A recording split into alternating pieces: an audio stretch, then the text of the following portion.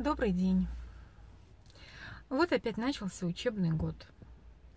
Я сижу в машине, жду сына младшего из музыкальной школы. Э, неделю назад, 2 числа, все дети пошли в школу. Мой старший сын сменил лицей, и у него теперь новый коллектив, к которому надо привыкать. Более, может быть, сложные условия по сравнению с прошлым годом, потому что лицей э, более высокого уровня, требования выше. Ну и вообще уже второй класс лицея, следующий, третий будет выпускной. А младший сын перешел в следующий, седьмой класс в своей школе подставовой. У него немножечко попроще, хотя э, сложности тоже есть, потому что появился второй иностранный язык, у него испанский второй. Потом новые предметы, которых не было в предыдущем году э, в седьмом классе. Так же, как и в белорусских школах, появляется э, физика, химия.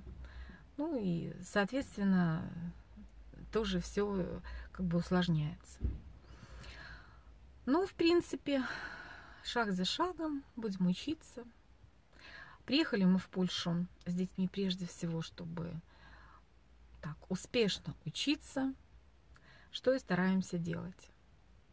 Дочка пойдет с 1 октября э, на, уже на второй курс, будет на втором курсе учиться в университете. Ну и вот э, мальчики, соответственно, в своих учебных заведениях. Муж, как только мы приехали э, в прошлом году, в конце августа, стал искать работу. И спустя три недели ее нашел. И вот на той работе продолжает работать. Вот год прошел, сейчас э, второй год пойдет. Пока он не отказывается от работы на этой фирме. В основном она его устраивает, хотя есть свои нюансы. Вообще надо сказать, что заработки в Люблине э, несколько ниже. Это Восточная Польша и город э, такого небольшой город. Ну, он то центр воеводства и до 400 тысяч населения. Но э, таких зарплат, как э, в Варшаве, там, в Кракове, в Вроцлаве, возможно, еще в других городах, здесь, здесь нету. В среднем люди получают на руки нетто, так называемое, после вычета налогов, э, наверное, две-две с половиной тысячи злотых. Три тысячи злотых – это уже очень хорошая зарплата по нынешним вот временам, насколько я знаю, именно для Люблина если чистыми на руки. Ну вот э, муж спустя три месяца, ой, спустя три недели, как э, мы приехали в прошлом году, он нашел работу в строительстве, а он э, и в Беларуси тоже работал вот по такой специальности. Он устроился в эту строительную фирму, и специфика в том, что нужно Э, работать на терене польский, то есть э, ездить по всей территории Польши. Если есть какой-то там заказ, э, находит фирма в Варшаве, значит работают в Варшаве. Если в Катовице, значит Катовице и так далее.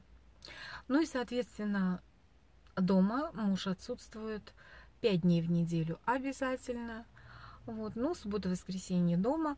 А если работа далеко от Люблина, то даже и две недели они вот так вот выезжают бригады и могут не приезжать в течение вот двух недель.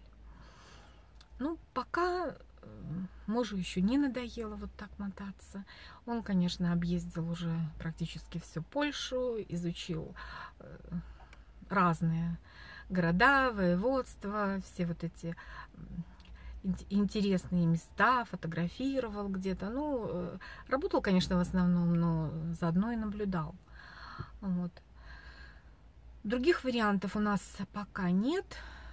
И исходя из того, что муж отсутствует неделю рабочую дома, то, что я не работаю, тоже это нас устраивает.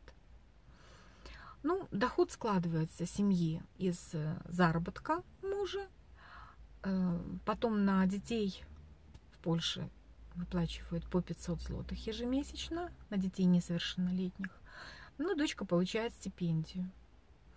Ну и к тому же у нас еще сын, э, который учится в лицее, будет получать, нам так обещали, пока еще реально денег не было, будет получать стипендию за отличную учебу.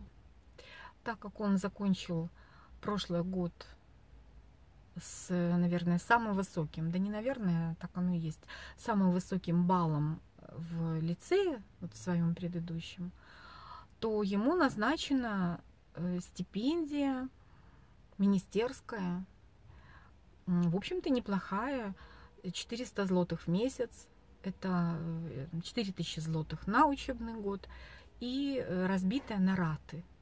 Она будет ежемесячно э, по 400 злотых идти на карточку вот в течение 10 месяцев. Ну, я говорю, что пока мы этого не получали и, так сказать, реально еще не ощутили, хотя после первого семестра у него уже было поощрение 150 злотых тоже за отличную учебу. Вот. Но дочка сдала сессию тоже очень хорошо. У нее высокий балл, который позволяет эм, тоже претендовать на какую-то стипендию там ректора или еще какую. Э, но пока мы этим как бы не занимались, это нужно вникать. Пока у, него, у нее идет социальная стипендия, которая была у нее весь первый курс, и ну вот э, должна быть, в общем-то, и на втором курсе, потому что э, семья у нас большая, и доход небольшой получается на каждого члена семьи. Соответственно, у нас еще трое детей. И, ну вот, стипендия социальная в таких случаях выплачивается. Вот. Ну вот, в принципе, этих денег, плюс еще небольшой доход, который идет у меня в Беларуси, мы его тоже здесь показываем, этого хватает на то, чтобы снимать Э, квартиру трехкомнатную, ну и вот жить нашей семье. Конечно, э, очень большая сумма уходит на э, съем квартиры, аренда трехкомнатной квартиры. Это в среднем нам, наверное, так, если посчитать 2200 злотых, если брать среднее, потому что зимой больше, летом меньше. Вот это уже само по себе крупная сумма. Ну, еще у нас есть машина. Машина тоже требует э, расходов. Машина пока у нас зарегистрирована в Беларуси на белорусских номерах. Соответственно, нужны все страховки белорусские. И покупаем мы зеленую карту. Вот, э, ну, вот расходы на машину идут тоже. Начался учебный год начались э, свои проблемы школьные. Первое, что это нужно было приобрести учебники. Надо сказать, что учебники в подставовой школе э, сыну и в прошлом году, и в этом раздали бесплатно. Я так понимаю, что дети, может быть, это не во всех воеводствах, но в Люблинском это так, эм, обеспечиваются учебниками э, первые 8 лет обучения бесплатно. А вот уже э, лицей и в прошлом году, и в этом, по опыту нашему, могу сказать, лицей требует э, затрат на учебную литературу. Покупали мы в прошлом году, и комплект учебников прошлогодних э, сдали. Здесь можно сдавать учебники, и, соответственно, принимают магазины. Вот есть скупки, тебе что-то э, суммы, ну, в зависимости от состояния учебника, его, наверное, востребованности, эм, тебе что-то возвращают, небольшие суммы. Вот. Ну и ты можешь покупать тоже пользованные учебники уже бывшего потребления, а можно покупать новые. Вот у нас так и было и в прошлом году, и в этом. Мы частично купили э, бэушные учебники, а тех, что не было, я уже сильно не искала. Пошли в магазин и купили новые. Вот и все. Вот. Так что э, таким образом этот вопрос решился. Ну, еще у нас осталось э, заплатить за аренду виолончели в музыкальной школе. У нас своей нету, мы берем вот, платим сразу же на год. Но эта сумма не такая большая, там, по-моему, 220 что-то в районе злотых на весь год. Ну, это нужно сразу отдать. Э, правда, расходы на школу государство частично покрывает. Э, вот э, все школьники имеют право по программе 300 плюс получить помощь.